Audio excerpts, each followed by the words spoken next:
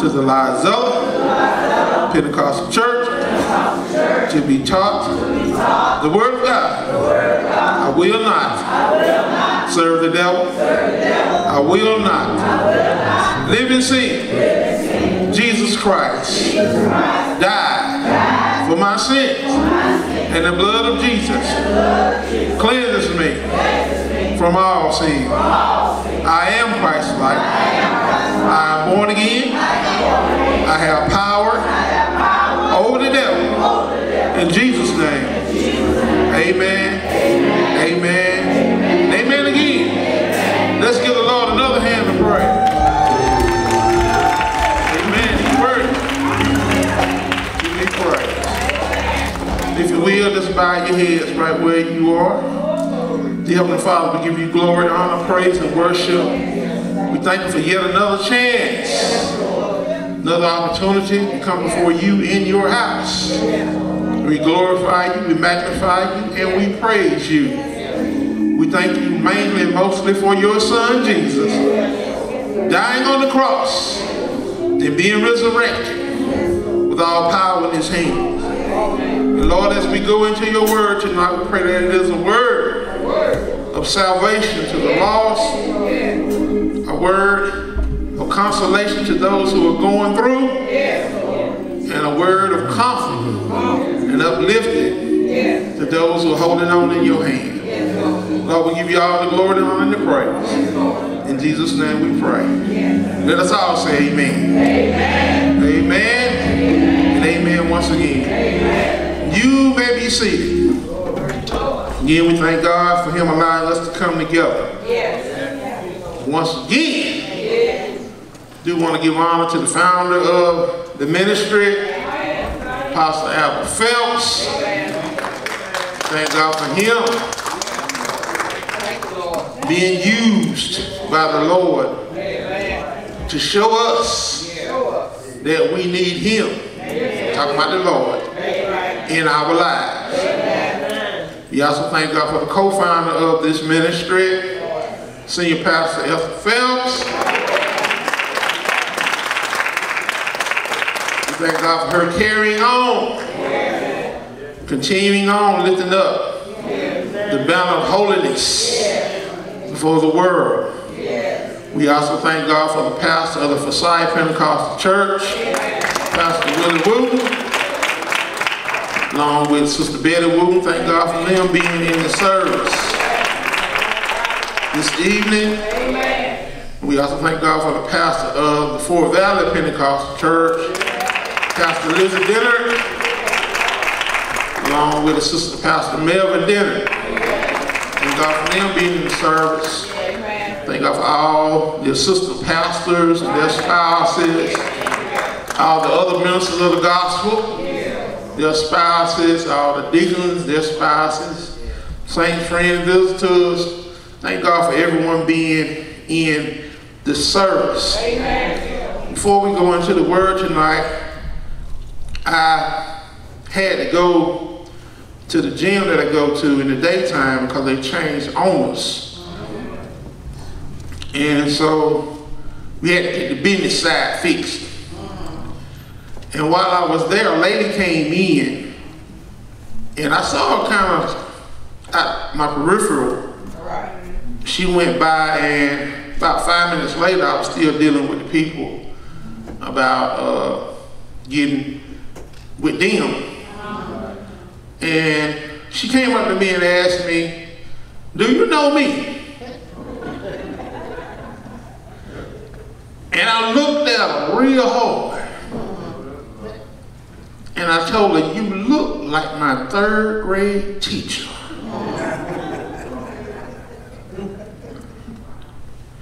And sure enough, it was my third grade teacher.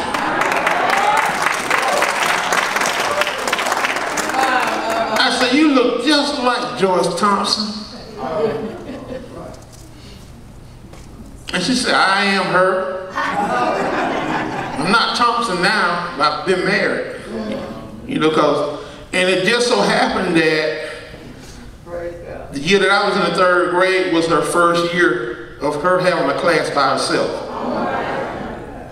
Praise God. Praise the Lord. And so we talked for a few minutes and I began to thank her. Amen. Amen. Amen. Because she had an influence Yeah. on me being who I am today.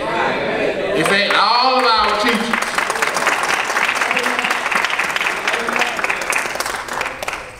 And she said, yeah, I see you on TV. I remember you. I said, I remember you too. and so it was good to see her. And it made me feel good. And, and, you know, sometimes, you know, every week I give honor to the people in the ministry, but sometimes I have to thank God for those people who are on the outside, That's right. That's right. who Amen. helped shape us That's right. That's it. to be Yeah. who we are today. That's right. And I began to think and, and reflect on all of my elementary. See, like I can remember them better than I remember my high school teachers. And I believe the reason for that is because I spent the whole year with them. Right, right, right. Whereas when you get in middle school and high school, you begin to change classes. Every quarter you got a different, well, we was on the quarter system back then. Every quarter you had to change and went to new teachers. But those elementary school teachers, we stayed together the whole year. Amen. Praise the Lord. Amen. And when I was in elementary school, they disciplined you at school. Right. Amen. Amen. There was no such thing as in-school suspension. Amen. Amen. I think that's another reason why I remember them too. Because they would get on you. Right. When you were wrong, they would get on you. Yes. And they had the authority. That's right. Yes, it is. If they didn't do it, they could send you to the principal's office. That's right. And the principal could do it. That's right. You can call your mama all you want to right. back in them times. Right. And in fact, you didn't want to call your mama. Because you know if you call your mama, you're going to get another one when you get home. And it's going to be worse. Amen. Hallelujah. But I, again, I thank God for my third grade teacher, and I began every so often. I, I have it's been about ten years, but I saw my fourth grade teacher. Her name was Miss Moore, right. Mrs. Moore, Yes. and I would never forget that lady. The first day of school, you know, all the students come in the classroom. Back then, we had books. You have a stack of books on your desk. You have to find your desk, and sit down, and, and then when the bell rang, she introduced herself to the class. Had her name written on the blackboard. My name is Mrs. Moore. Now I want to introduce you to the Board of Education. and she pulled out this big old paddle. Like they have at the frat house. And it had Board of Education wrote on it. And that set the tone That's right. for the year. Amen. And we didn't give her any problems. All right. Amen. I never will forget that. Then I went into my fifth grade year and Miss Colbert. All right. Thank God for her. Now, Miss Colbert was a dignified lady Amen. and she spoke proper. Now, all of these teachers were black. And you, she didn't have you talking like I talk today.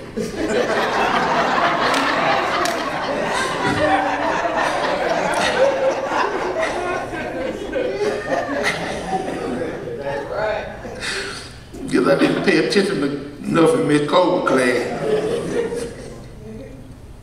But she taught real proper. That was that was her way. That's right. And I never will forget her for that. And I thank her. Amen.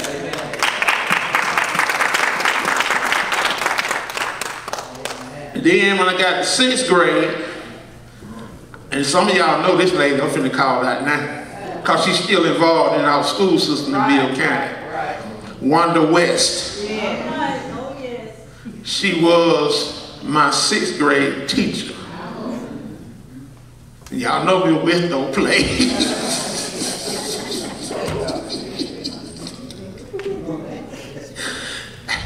so thank God for Mrs. West. I thought all of them were mean. When I was coming up through elementary school, I said, I get the meanest teachers. Then when I got in seventh grade, I had a male, a male teacher. He was a Caucasian man, Mr. Bill right. And I want to thank God for Mr. Lyles. I'm tell y'all something that happened one day. You know, sometimes teachers have to go out in the room. And you know, a lot of times when the teacher go out in the room, that's when the children start cutting up. Right. And so I was minding my own business. And somebody started throwing erasers, you know, from the blackboard. They just started throwing erasers, hit, hitting one another. So they hit me one time.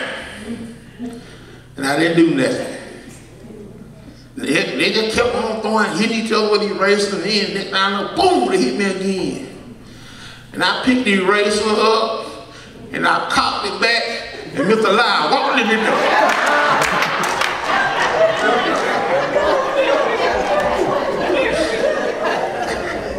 I didn't even get a chance to throw it.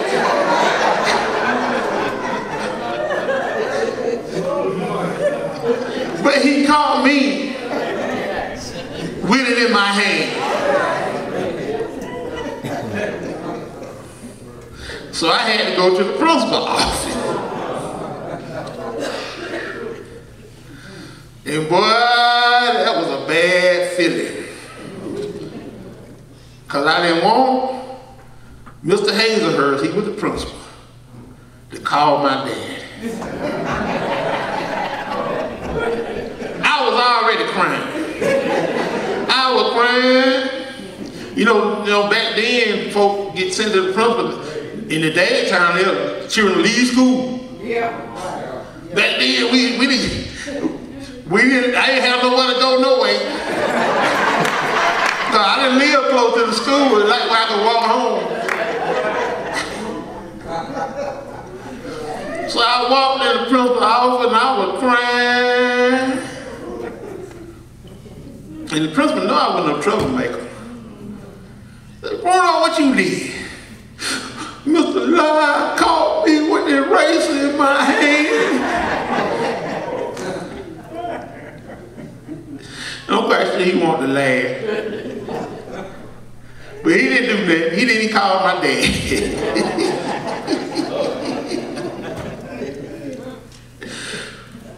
and the way that that school was made, it was like, it's not, you know, if you ride up there by night, you know, a lot of it's burnt down now, but it didn't have that front part.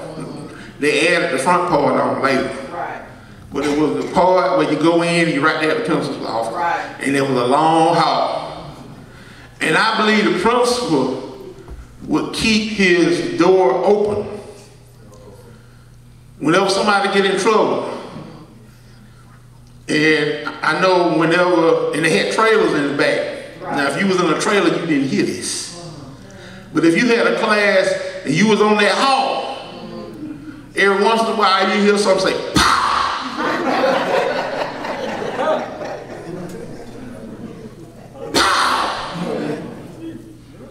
You knew then somebody was getting it. Yeah, that's how it was when I was in school. They didn't play that well. And so again, I just I just wanted to take a little time out to thank all my elementary school educators. Because all of them had an impact on me being who I am today. Had a chance to think about that over the weekend. Right. And so I just want to thank them publicly. That's right. Amen. You know, I'm so glad I had a chance to see Miss Thompson. She told me her married name. But I can't remember that. All I remember is Miss Thompson. You know, so she went on and got her doctorate degree, wound up being a principal before she retired. You know, so uh, again, thank God, God again for having her Right. being a part of my life. Right. Now, if you have your Bible, go ahead and open them up to St. John chapter 10. Tonight we're going to look at the Good Shepherd. That's the title of the message tonight, the Good Shepherd. St. John chapter 10. Jesus is going to be speaking. Oh, It begins in verse 1. He says, Verily, verily, I say unto you, he that entereth not by the door into the sheepfold, but climbeth up some other way, the same is a thief and a robber. Yes. So now Jesus is saying, Verily, verily. Now, in the, in the day time, we'll say he's spitting some truth. That's right. That's right. Okay? He that entereth not by the door. So we're going to have some that's going to come and they're going to try to not come through the door. That's right. Because we're going to find out later that Jesus is the door. That's right. Amen. That's right. Hallelujah. But those that come any other way, they're going to be a thief and a robber. That's right. Amen. Verse 2 says, But he that entereth in by the door is the shepherd of the sheep. So in order to be the shepherd, you got to come in the right way. Right. Right. Verse 3 says, To him the potter, porter, openeth, and the sheep hear his voice, and he calleth his own sheep by name, Yes. and leadeth them out. Now, back in this time, they had places where they kept sheep, but they had different flocks in one place. And when a certain shepherd would come in, all the sheep in that particular flock All right. would know him. Now, there were other shepherds who would come in, Right. but if the, the, the, the shepherd of the flock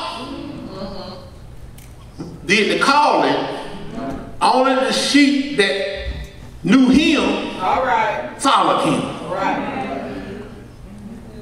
You know, the junior choir used to sing a song called the Shepherd Song. That's right. Absolutely. And a few of the lyrics of that song say, if you say All right. that you are my sheep, why aren't you following me? Yeah.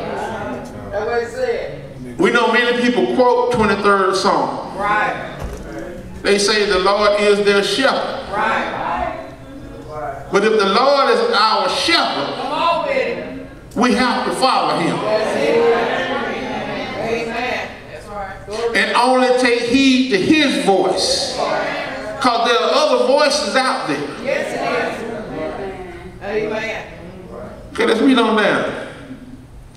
Verse 4 says, And when he putteth forth his own sheep, he goeth before them, and the sheep follow him, for they know his voice. Right. And a stranger will they not follow, but will flee from him, for they know not the voice of strangers. Amen. I showed the Bible study class the other week a little video Right. where there was this class of students. They went out on a farm Right. with sheep. Right. And each one of the students with, you know, the sheep were out grazing. Right. And all of the students would go one by one up to the fence Right. and they would holler Yeah. Here, sheep, sheep, sheep, sheep. Uh-huh. Come here, sheep. Come here, sheep, sheep, sheep, sheep. And you know what those sheep did? They kept on eating. They didn't even look. They kept grazing. One by one, they would go to the fence. Some of them would laugh. That that looked like the sheep they was ignoring. Right.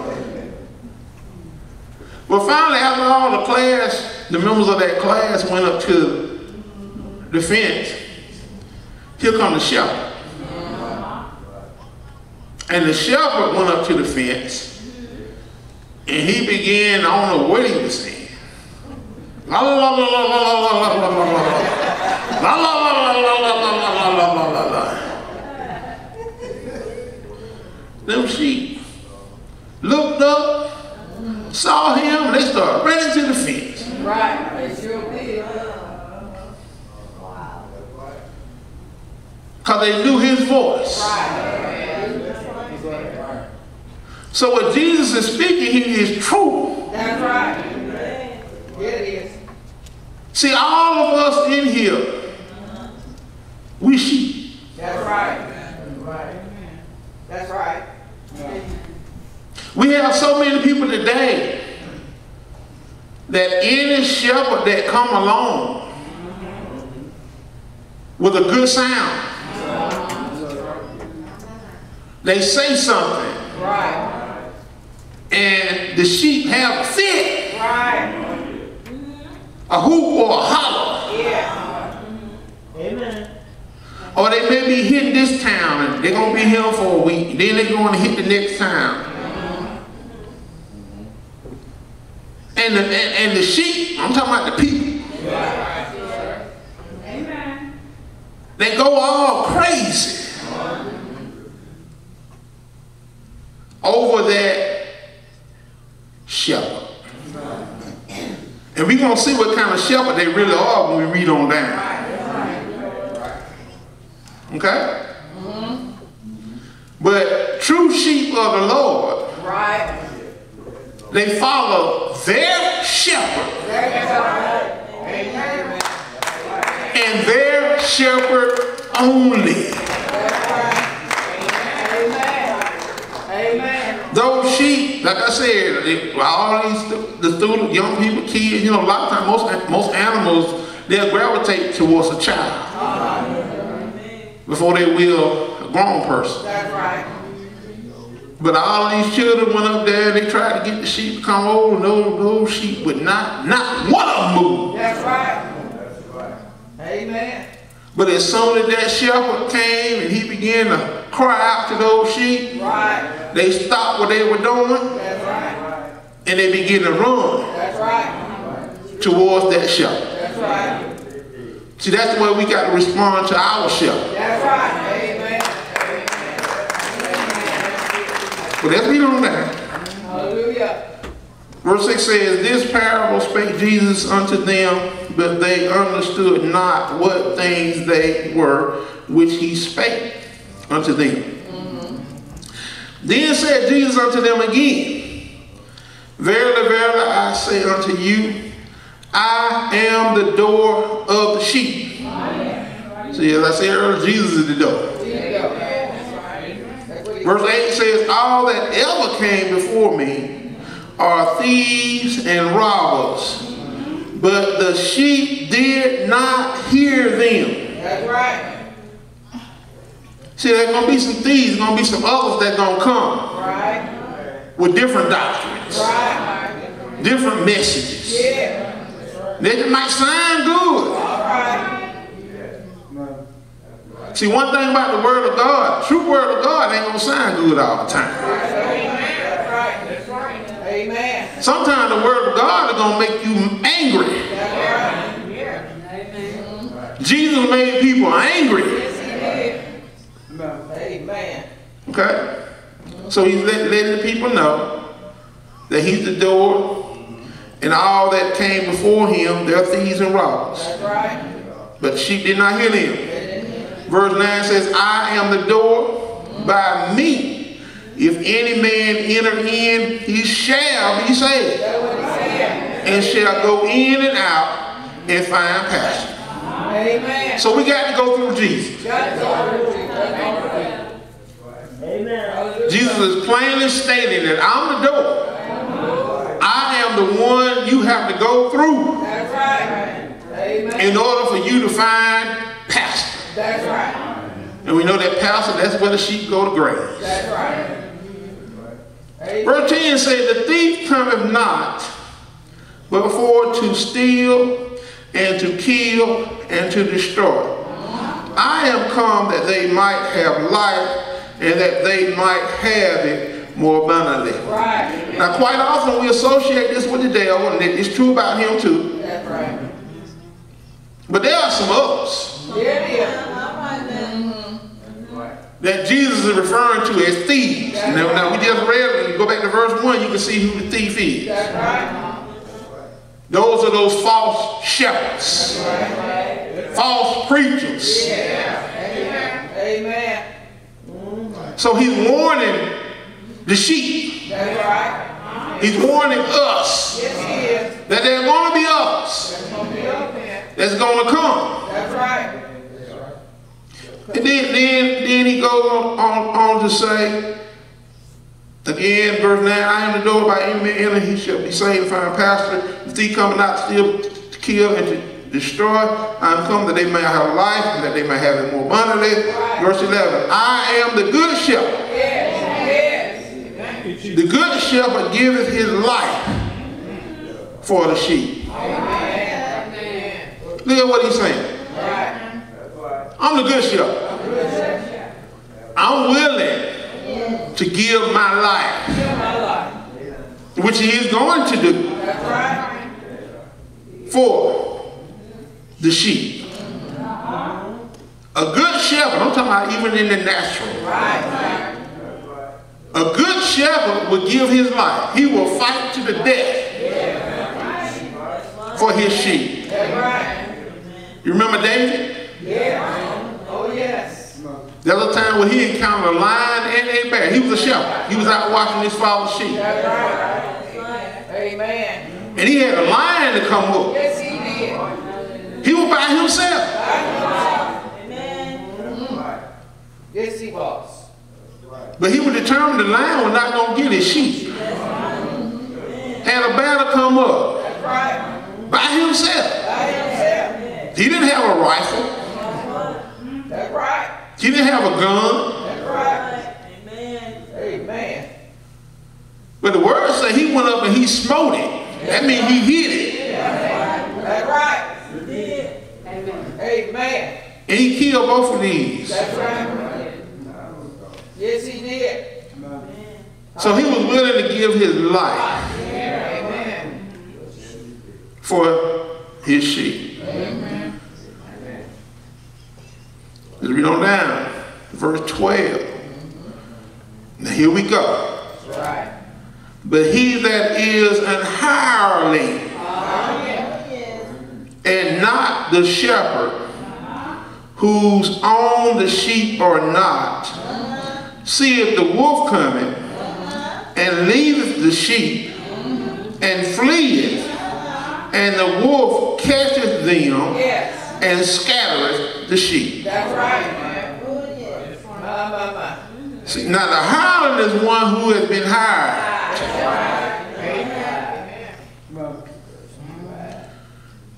They don't really care for the sheep. They care for the paycheck. That's right. Amen. That's right. There are many ministers out there, they don't care for the sheep. That's right. Amen. Amen. That's right. But they just there for the paycheck. And if they get a larger offer from a larger congregation, those people that they have built relationships with, they will up and leave because they have a better, what they say, opportunity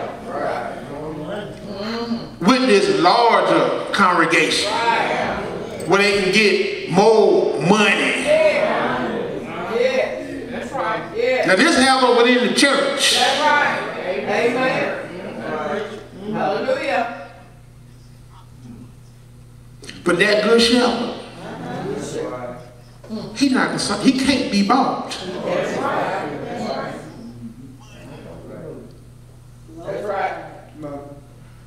He has a relationship with his sheep. Right. He's willing to die right.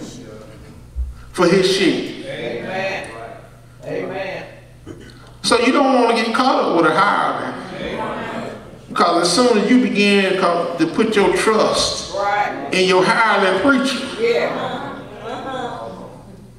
you don't never know when that person that you got so close to, that you put so much trust and faith in, will be coming to you, well, y'all, this gonna be my last Sunday. I thank y'all for everything you've done for me. Pray for me and I'm gonna pray for you.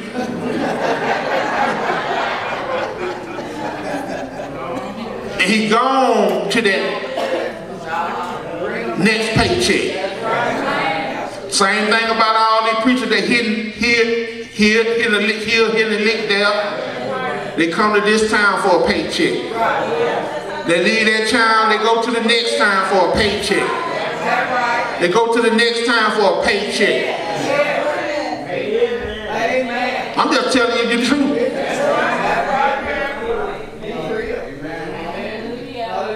They're not a shepherd. That's right. They're highly. And as a sheep, you don't want to get caught out there by yourself when the wolf comes. That's right. Amen. Because the wolf will get you. That's why we need a shepherd. That's right. So again, verse 12, but he that is a hireling and not the shepherd whose own the sheep are not, seeth the wolf coming and lead the sheep, sheep and fleeth, and the wolf catches them and scattereth the sheep. Right. The hireling fleeth because he is an hireling and careth not for the sheep. Again, you got a lot of preachers, they leaving their congregation. Amen. That's right. Even if the church is falling on hard times. That's right. Sometimes God will send something Yes. as a test Right. To see what the preacher gonna do. That's right. See what the so-called shepherd gonna do. Hey, Is he gonna stick it out? That's right.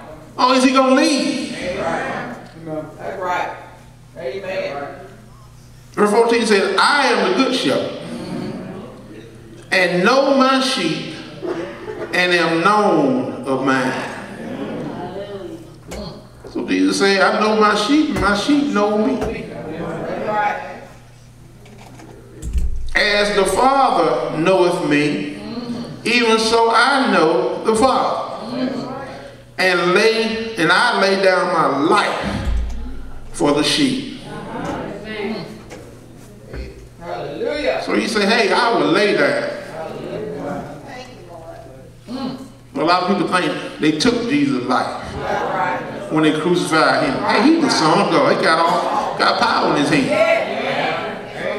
All you have to do is speak the word. And you live or die. That's right. Hallelujah. But he allowed himself. Amen. He took it Yes, he did. in order to save us from our sin. Laid down his life. Now Jesus is mainly talking to Jews, but as we go on to verse 16, he said, Other sheep I have, which are not of this fold, them also I must bring. And they shall hear my voice, and there shall be one fold and one shepherd. So he letting the, Jews here know that hey, I got some other sheep. Talking about us Gentiles man. The Samaritan talking about us. I got some other sheep. They're not of, this Jewish I got to bring them too. Then we're gonna be one. I'm gonna bring you together. That's right. Gonna be one fold. One fold. It's gonna be one shepherd. That's it. Amen. Amen. Verse 17 says, Therefore does my Father love me because I lay down my life that I might take it again. Look at what he's saying. Say, my Father loved me because I'm so meek. That's right. I'm willing to lay down my life. Yes. Yes. And I'm so bad, I'm going to take it back up again. Amen. Oh, thank you, Jesus. Hallelujah. Verse 18 says, No man taketh it from me, but I lay it down of myself. Now, Jesus talking about his life. That's right. Amen. You know, a lot of times people think they're taking stuff from you. That's right. That's right. You're not taking it from me. I'm just letting you have it That's right. Hallelujah. for right now. All right. Amen. See, Jesus didn't let him have his life. Uh-huh. Right. Let's read on down. No man taketh it from me, but I lay it down of myself. I have power to lay it down, and I have power to take it again. That's what he said. This commandment have I received of my Father. Yeah. That's right. So I got the power to give my life, Uh-huh. Amen. and I have the power to take it back again. That's right. Amen. You ain't taking nothing from me. That's right. Amen. Hallelujah. You know that's a bad man. That's a bad man saying, I'm going to give something to you, then I'm going to take it back. Hallelujah. Ain't nothing you can do about it. Hallelujah. Amen. Because I received commandment from my Father. Amen. Now this got the people mad. I'm not going to go into that tonight. He got, the- got the Jews mad then. They, were- they ready to kill him now.